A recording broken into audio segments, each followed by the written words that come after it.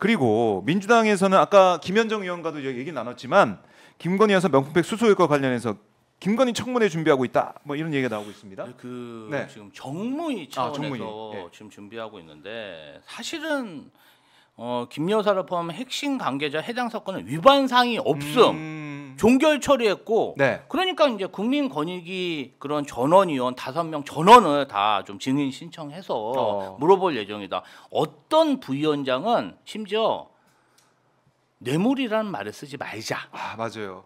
말 조심하라고 할게요. 예, 그런 말을 했다. 금품 수수로 바꿔야 왜 된다. 그런 말을 썼는지 우리가 아하. 진짜 국민이 들어봐야죠. 궁금합니다. 국민권익위원회는 국가 반부패 기관이잖아요. 네. 반부패 기관에서 음. 국가 최고 지도자의 배우자가 기호백을 받는 영상을 보고도 혐의가 없다는 거예요. 아니 뭐 그러면서 법이 미비하다. 네. 국회의원이 놀아서 그렇다. 희한한 논란을 하고 있어요. 제재 조항이 없다. 아니, 주장. 알선 수재죄라는 게 있다. 네네. 공직자의 배우자가 뇌물을 수수했을 경우는 알선수재죄로 처벌하면 음. 된다. 이거를 Q&A로 해갖고 온갖 때 홍보하고 다닌 게 바로 국민권익위원회인데 네. 그거 왜? 국가 최고 지도자의 배우자에선 그것이 적용되지 음. 않냐? 정무위원들은 사실 이거 굉장히 따져야 될 일이고요. 이 정말 그러면 이제 배우자들이 디올백이나 이런 거 받아도 된다는 얘기잖아요. 그럼 국가가 우리 국가가 이제 그냥 진짜 부패 네. 부패를 조장하는 거 아닙니까? 아. 그래서 청문회 통해서 왜 이런 결정을 내렸는지 권익위의 이 존립 자체가 위협받게 된 이런 상황까지 몰리게 됐는지 이거를 밝혀내야 된다. 민주당 정부에서 추진하고 있는데 아직 정무위원장이 없어가지고 지금 어떻게 될지. 정무위원장 빨리. 정무위원장이 없으면 네. 이제 뭐 야당 의원끼리라도 음. 뭐 이렇게 임시 의장을 임시 상임위원장을 뽑든지 어떻게 하든 음. 그냥 정무에선 추진한다는 겁니다. 이 네. 사항을 그냥 지켜볼 수가 없다는 거예요. 사실은 어떤 교, 모 교육감은 배우자가 뭐 3, 40만 원 상당의 전복을 받은 사례가 있는데 그걸 바로 가서 어. 그 신고하고. 가- 감사 이제 교육 청 밑에 감사실에 보고를 했다는 음, 거예요. 음. 이런 사례가 있는데 대통령도 디올백을 받았으면 바로 가서 신고를 해야죠. 그러니까요. 그거 조사를 했어야 되고 언제 인지를 했는지 신고 정말 했는지. 아니 근데 뭐 갑자기 그게 대통령 대통령 기록물로 기록물. 둔갑되더니 뭐 외국인이 그, 줘서 괜찮. 어, 외국인 얘기가 나오고 준 사람 뭐 저기 뭐야 네. 어, 준 사람이 스토킹 스토킹을 갑자기 했다니까 이게 너무 웃기잖아요. 스토 스토킹을 아니 스토킹을 그럼 자기가 약속 잡고 네. 약속 잡은 손님한테 스토킹 당했다 그러면 어떻게 이 사람도 진짜 제가 볼 때는 상상력이 대단합니다. 아, 별의별 이유를 갖다 붙여가지고 이제 국민들을 바보로 하는 상황들이 벌어지고 아이, 있으니까. 이렇게 되면 정말 예. 대한민국 역사상 최초로 예. 스토킹 범죄자가 준 그 물건이 국가 기록물이 되는 것이에요. 그리고 앞에서 분명히 다 검사하고 들여보냈잖아요. 예. 그러면 영화에서 나오는 것처럼 보통 다 같은 팀이에요. 한 범죄를 위해서 음. 그걸 성공시키려면 그럼 네. 김건희 여사와 함께 있던 그 보좌관 두 명 있죠. 아하. 공범입니다. 그렇죠. 그 최재형 목사님이랑 같이 네. 뭔가 협력 관계다. 아하. 라고밖에 볼 수가 없는 거예요. 아하 그렇게 왜냐면. 들여보내줬으니까 네. 어, 그렇게도 확장시켜서 생각할 수 그래서 있네요. 그게 아니면 네. 운영위가 오늘 열린다고 하니 아 지금 개의 예정입니다. 11시에. 운영위는 대통령실 앞에 다 같이 갈 수 있거든요. 네. 왜냐하면 대통령과 관련된 가족, 그의 음. 측근들에 대한 비리에 대해서 다 물을 수 있어요. 음. 음, 기록물이라고 하니까 그거 확인하러 아. 가는 그 약속 네. 이 회의에서 잡으시기를 간절하게 원합니다. 음. 저는 이번 운영위에서 사실은 대통령실에서 지난 2년간 행한 그 수의 계약 음. 뭐 원래 이제 어, 지방 정부나 공무원들은 그 2천만 원, 3천만 원 이하만 수의 계약을 할 수 있는데 대통령실만 국가 안보를 이유로 그 수의 네. 계약 액수가 무한대입니다. 그래서 옛날에 네. 뭐. 예, 그 박근혜 대통령 청와대도 무슨 K 스포츠 재단하고 무슨 태권도 용역 계약을 해서 음. 순방 다닐 때 뭐 6억 7억 계약하고 그때 네. 이게 이거 어떻게 이렇게 시- 실체도 없는 K 스포츠 재단이랑 계약했냐 보였더니 뭐 국가 안보 때문에 그렇게 했다. 똑같은 예, 그래서 논리로 나오고 있네요. 지금도. 그런 수의 계약이 정말 보면은 네. 근거도 없고 아하. 과거 이렇게 거래한 사례도 없는 업체들이 많다는 그러한 소식들이 있습니다. 그러면 그런 건 음. 누가 다 소개했을까요? 그런 맞아. 거를 한번 파봐야 됩니다. 음. 그래서 네. 운영위에서 어떻게 할 일이 알았을까? 많다. 대통령실에서 만약에 예. 어떤 그 과거에 과거의 업체들을 챙겨주기 위해서 그런 음. 수의 계약을 남발하고 네. 이력을 챙겨주기 위해서 그런 계약을 남발했다면 이 역시 굉장한 특혜이기 때문에 네. 철저히 파악해야 되고 이 역시 국정조사, 국정감사까지 음. 이어져야 된다. 뭐 네. 법을 어겼으면 고발도 당해야죠. 아, 저- 그래서 오늘 그 첫 단추죠. 운영위가 개의가 되면 또 어떤 각오를 보일지 저희가 생중계 여러분께 전달해 드릴 할 테니까 조금만 기다려 주시고 11시 개의 예정입니다. 그리고 조국혁신당에서도 김건희 여사 관련해서 내일 또 공수처를 간다고요? 어떻게 된 맞습니다. 겁니까? 원래는 오늘 오전에 네. 그 공수처 가서 기자회견 하기로 일단 저희가 계획이 잡혀 있었는데 음, 내일 오전 내일. 10시 반으로 네. 계획이 바- 변경되었습니다. 음. 하루 늦춰졌어요. 그리고 엠바고가 걸렸어요. 엠바고가 걸렸어요? 네, 거기 가서 기자회견을 어떤 내용을 할지는 네. 아하. 그때 박은정 의원님과 차규근 의원님 그리고 이규원 대변인이 함께 갑니다. 네. 그때 발표하는 걸로. 그래요. 그래서 대략적인 말씀을 드리면 일단은 우리가 권익위에 대한 신뢰가 땅에 떨어졌죠. 음. 윤석열 대통령이 청계산장 가서 900만 원어치 한우 네. 먹은 내용에 대해서도 강령 위반이 없다라고 결론을 내렸고요. 음. 그리고 김건희 여사도 혐의 없음으로 종결 네. 처리를 했죠.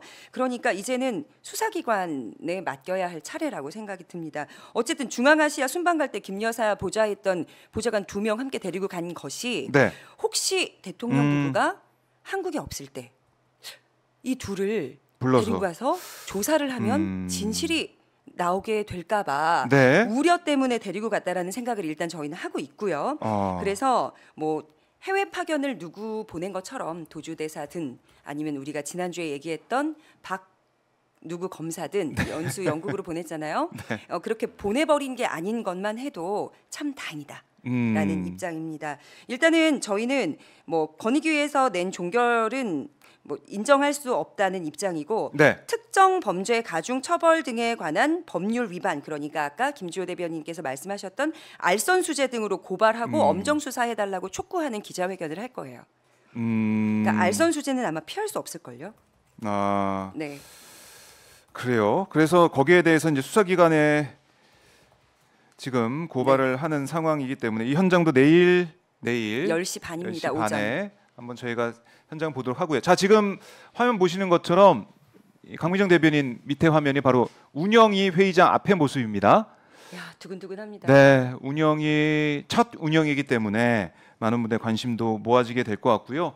아, 21대 국회는 뭐 운영위가 사실 무력화됐었죠. 윤재혁 원내대표가 운영위원장이었기 때문에 음. 아무것도 못했습니다. 대통령실에 대해서 물어보고 싶은 게 너무나 많은데 불구하고 회의가 안 열려서 너무 답답하다 얘기를 민주당 의원들이 많이 했었어요. 지금 근데- 저렇게 화면 보시면 네. 얼굴이 환하게 웃음꽃 피는 분들 있죠. 네. 민주당 분들이실 거예요. 아 그래요. 네. 어둡다. 네. 그러면 민주당 분이 아니실 가능성이 높습니다. 아, 자 이렇게 이제 관련자들 또 곽상원 의원도 지금 준비를 하고 있습니다. 네. 서울 종로의 곽상원 의원도 지금 운영이 참석 준비를 하고 있는 모습. 오마이 TV를 통해서 실시간으로 국회 현장의 모습을 함께 하고 계십니다. 자, 지금 방송 보시면서 좋아요 버튼 안 누르신 분들 좋아요 버튼 한 번씩 눌러 주시고요. 오마이 TV 구독 안 하신 분들 구독도 눌러 주시고 그리고 오마이 TV는 슈퍼챗도 받고 있습니다. 아, 슈퍼챗 쏴주시면 저희가 기쁘게 또 소개를 해드리고 제가 또 좋아요를 눌러드립니다. 그러니까 슈퍼챗에 기능이 생겼더라고요. 아? 좋아요 누르기, 그다음에 댓글도 그 밑에 또 달 수도 오. 있고. 아. 소통이 네, 가능하네요. 소통이 가능하기 때문에 좋아요 버튼 제가 눌러드립니다. 여러분들 많은 성원과 응원 부탁드리겠습니다. 네, 저 김건희 여사 공수처 고발 건에서 네. 잠깐만 더 드리고 싶은 말씀이 음. 있습니다.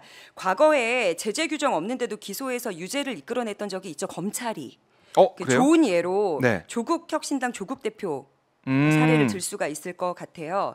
일단은 조민 씨가 민정수석 시절에, 그러니까 조국 대표가 민정수석 시절에 네. 대학원에서 받은 장학금을 가지고 청탁금지법 음. 위반으로 유죄 판결을 받았어요. 맞아요, 기억납니다. 왜냐하면 그녀는 음. 일단 뭐 소득을 그러니까 불러 일으킬 수 없는 상태인데 장학금을 받은 것은 조국 대표의 경제적인 공동체 어, 네, 가족이니까. 예 경제적으로 음. 혜택을 준 것이나 마찬가지다. 그래서 네. 이걸 기소를 하고 아하. 어쨌든 형을 내린 거예요. 하하. 그런데 만약에 권익위가 종결한 것처럼 해석을 해보면 네. 청탁금지법에는 배우자에 관련한 뭐 규제도 없지만 음. 자녀에 대한 규제가 없어요. 아. 근데 자녀에 대한 규제 제재를 했잖아요. 예. 이거 처벌할 수 있다라는 판례가 있어요 지금. 그러면 똑같은 잣대로 그렇네요. 김건희 여사에 대해서도 그럼 여기까지 가볼 수가 있습니다. 네. 김건희 여사가 300만 원 상당의 디올백을 수수함으로써 음. 윤석열 대통령은 경제적 이득을 본 거예요. 음. 근데 그렇죠. 배우자죠? 예. 그럼 처벌이 가능하겠죠.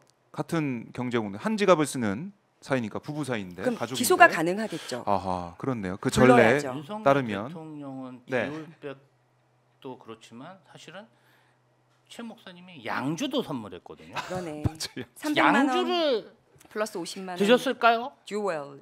응? 양주를 아니 양주는 근데 뭐 법조인들 말 들으면 양주는 뭐 먹을 수 있다고 하더라고 이게 나중에 상하기 때문에 병이라도 있어야지. 아 예전에 그러니까 병은 병이 있어요. 조선일보에서 그런 기사를 냈대요. 예. 루이 몇, 몇 세인가라는 이름을 가진 이- 어, 정말 어. 비싼 양주를 어, 받았는데 예. 과연 대통령이 이 술을 마셔도 되는가? 아하. 위반이 아닌가? 근데 마셔도 된다라는 네, 그거는 뭐 변질될 우려가 있기 때문에 마셔도 된다고. 그러니까 병은 내놔라. 병은 있어야죠. 병은 있어야죠. 병은 내놔라. 병은 있어야죠. 예. 그리고 화장품도 있고 뭐 그런 샤넬 화장품 향수 뭐 이런 것도 있고. 군제도 뭐 이렇게 받았다는 상당의. 얘기가 있고 사실은 이게 지금 밝혀진 게 그거지 그 네. 줄을 섰대잖아요 만날려면 뭐가 영상에도 있어야 좀 예, 끝에 예, 나오죠. 예. 그러면 그런 것들을 사실 네. 받은 게 정말 엄청 많을 텐데 그런 것에 대한 아. 조사가 이루어지지 않고 있습니다. 맞습니다. 아 이건 맞네요. 그러니까 이게 이제 권익위 판단에 따라서 끝 종결하고 생각할 수가 없는 전례들도 뭔가 사례도 많기 때문에 이거는 국회에서 하나 따져 물어야 되고 운영위에서도 아마 이 김건희 여사 관련된 문제는 계속 나올 수밖에 없어요. 네, 김건희 여사는 윤석열 대통령의 가족이죠. 가족이죠. 운영위에서 네. 가장 잘 다룰 수 있는 음. 안이라고 생각이 됩니다. 그래요. 이 법사위 지난주에는 법사위 관심이 모아졌다면은 오늘 이제 또 운영위가 시작이 됩니다. 네. 대통령실 관련된 또 대통령 가족에 대해서 어떤 얘기가 나올지 주목을 해 보겠습니다.